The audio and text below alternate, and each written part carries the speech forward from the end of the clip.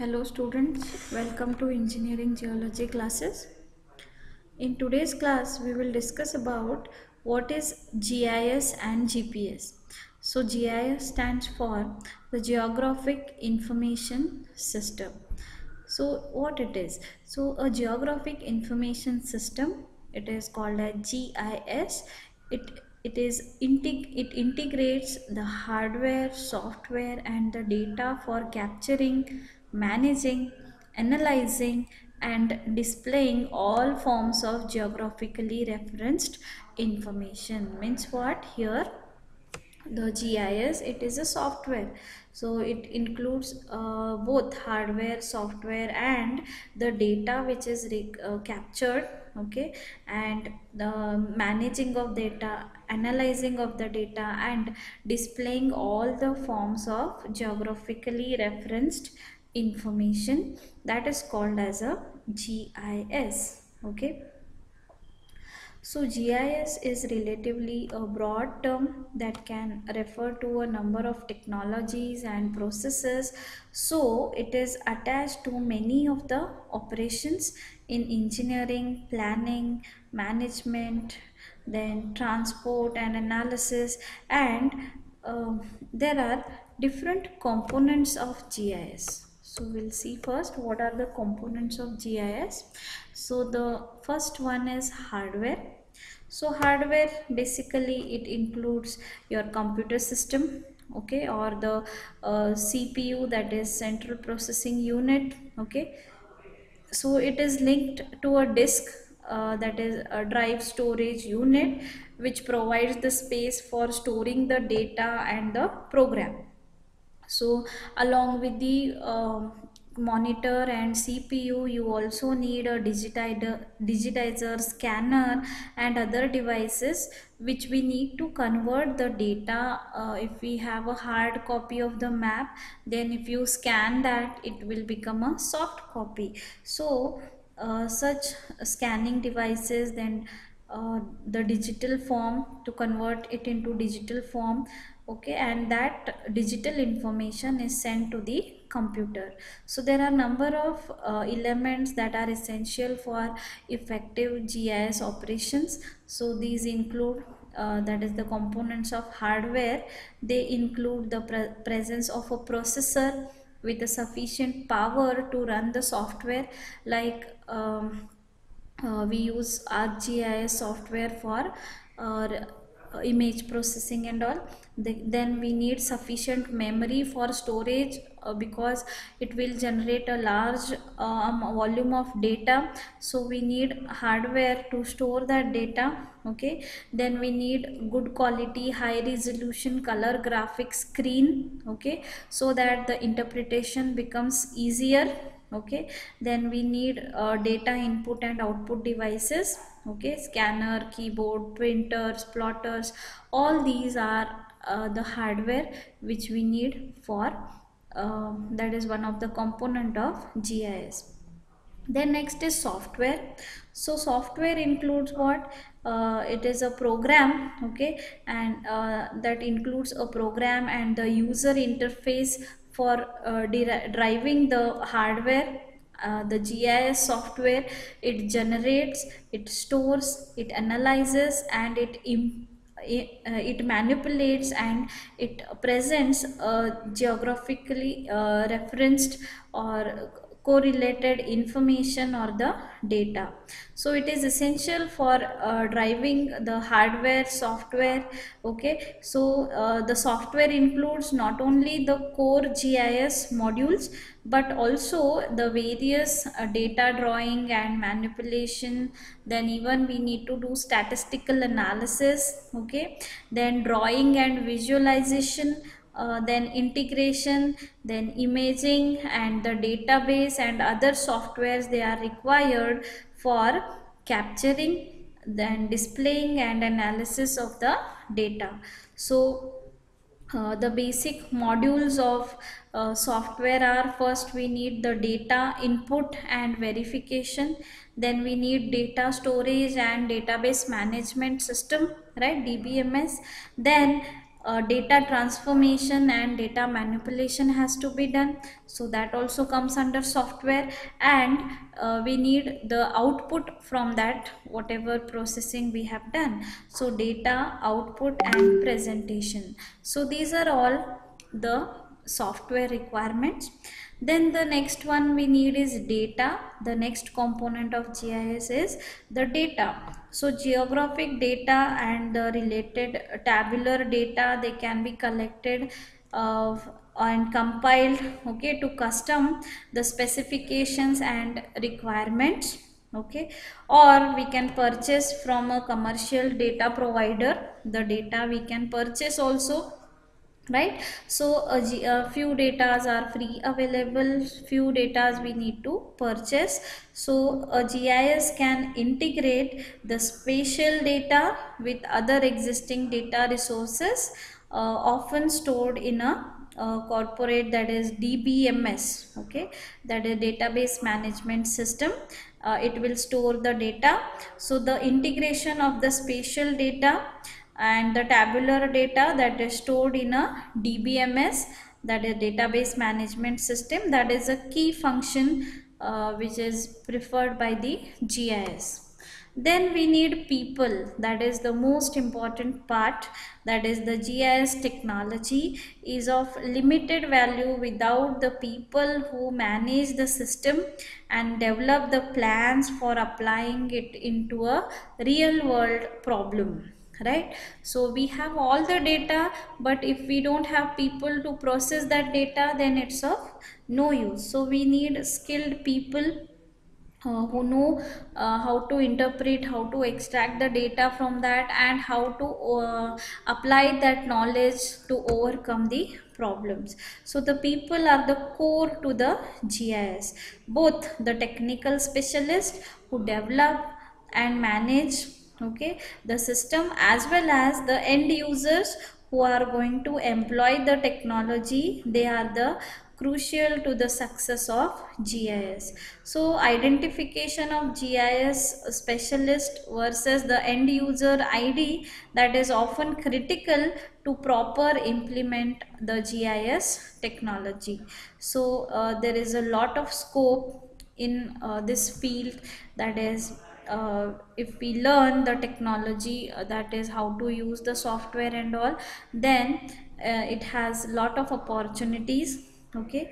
Then the last one is method or procedure. So here uh, method refers to a well defined consistent procedure okay that are required to produce accurate then reproducible results okay?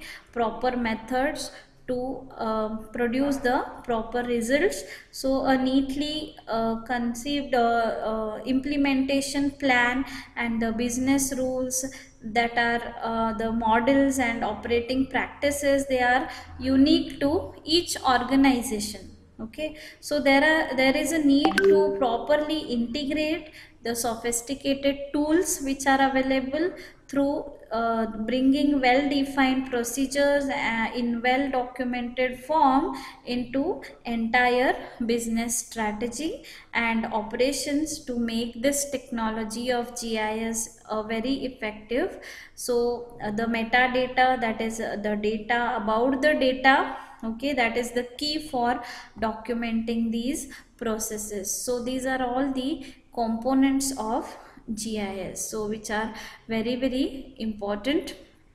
Okay so what is GIS it is a integrated uh, geographic uh, integrated software right? Integrated hardware software and data for capturing managing analyzing and displaying all the forms of geographically referenced information. So that is called as GIS geographic information system. Then next we'll move on to GPS that is global positioning system.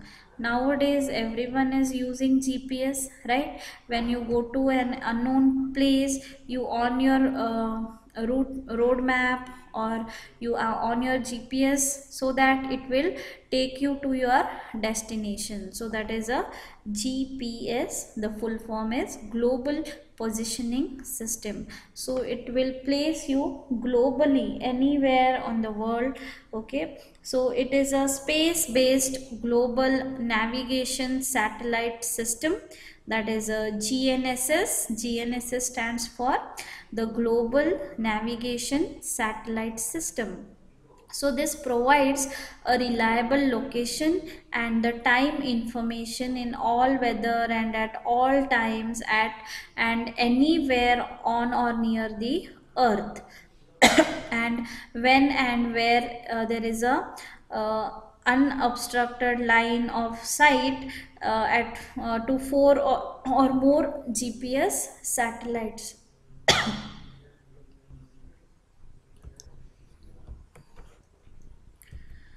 then uh, how this GPS works. So there are three segments of the GPS one is the space segment one then the control segment and the user segment. So these three uh, segments are very very important. That is the space seg segment it will send the information from the space to the control segment okay? Uh, the receiving stations okay on the ground. Then these receiving stations or the control segment they transfer the uh, information sent by the space to the master station and from there uh, it will uh, again send to the uh, space segment that is satellites and they will again show us our location that is the user segment uh, if we are using GPS uh, instrument or a device or even your mobile GPS. So this uh, the GPS that was created and uh, by the US Department of Defense that is and it was originally run with the 24 satellites okay? So it was used with the 24 satellites. Then it was established in 1973 uh, to overcome the limitations of previous navigation system. So the gps program okay it, it provides a critical capability to mainly for military okay then civil and commercial users uh, around the world. So in addition uh, this gps is a backbone for modernizing the global air traffic system so the air traffic what we call nowadays that is controlled mainly through this gps so this there will be a gps receiver okay that calculates the position by precisely timing and uh, uh, the signal sent by the gps satellites uh, with high uh, which are above the earth. So usually these satellites they are at uh, 36,000 kilometer above the earth they are revolving. So this is a space segment okay in which the satellites are revolving around the earth. There are few satellites which are at constant place. They are called as geostationary satellites. Okay then there are satellites which are continuously moving uh, along the defined path. Okay so there are different satellites which are evolving around the earth. Then there are control stations. So there are master control stations and some minor control uh, control stations uh, which are situated at uh, few uh, states okay few countries okay the control segments are located uh, mainly main stations okay you can see they are situated globally. Then the next how it tracks your signal okay the signal from one satellite the receiver uh, is somewhere on uh, this sphere. So if your gps is showing the information only from one satellite then it will place you in this circumference okay? Then if the uh, if your uh, signal is tracking the uh, signal is tracking the two satellites okay information sent by the two satellites then you can see uh, by triangulation method it will give you the position okay somewhere here.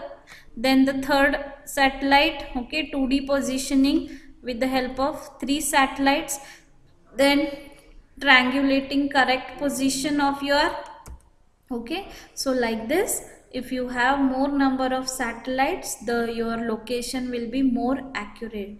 So minimum four satellite we need to locate uh, the position of any uh, person or any vehicle on the earth okay so minimum four satellites are required. Then we'll see what are the applications of gis and gps in civil engineering. So it helps to implement the corrective measures and maintenance during the construction.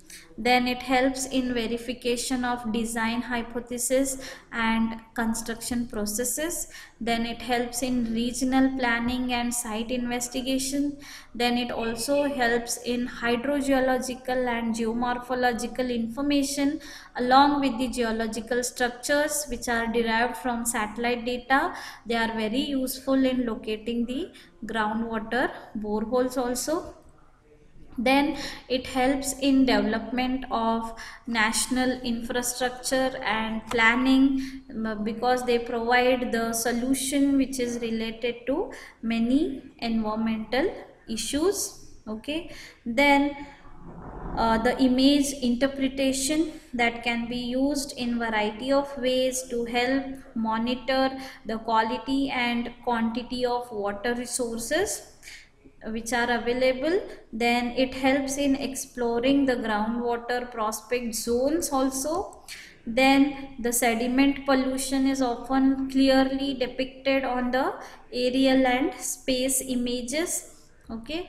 Uh, whatever pollution which is taking place in an uh, reservoir that also you can find out. Then it helps in preliminary investigation of impact assessment of dams and rehabilitation. Then GIS provides a valuable tool in the process of planning and designing of highway, bridges, tunnels, etc then this remote sensing it plays a vital role in delineating potential areas of groundwater occurrence for a detailed exploration so thus uh, reducing the cost and time which is involved in groundwater exploration. So through satellite images also you can do the uh, groundwater exploration okay you can identify the potential zones for groundwater. Then gis can be used in flood monitoring wetland management forest management land degradation and watershed management. Then this gis can also be used in land use land cover change analysis urban planning and monitoring. That is how it was in uh, suppose for example if you want to take up a area before flood after flood you can study or before urbanization after urbanization suppose for example uh, you want to study a particular developed area and how it was before 2010 or before 2000 how it was and what is the present status. So you can uh, do the analysis okay using GIS it will give you how much water bodies have lost how many uh, buildings have come up okay. So all that you can find out what all changes and how the changes have taken place.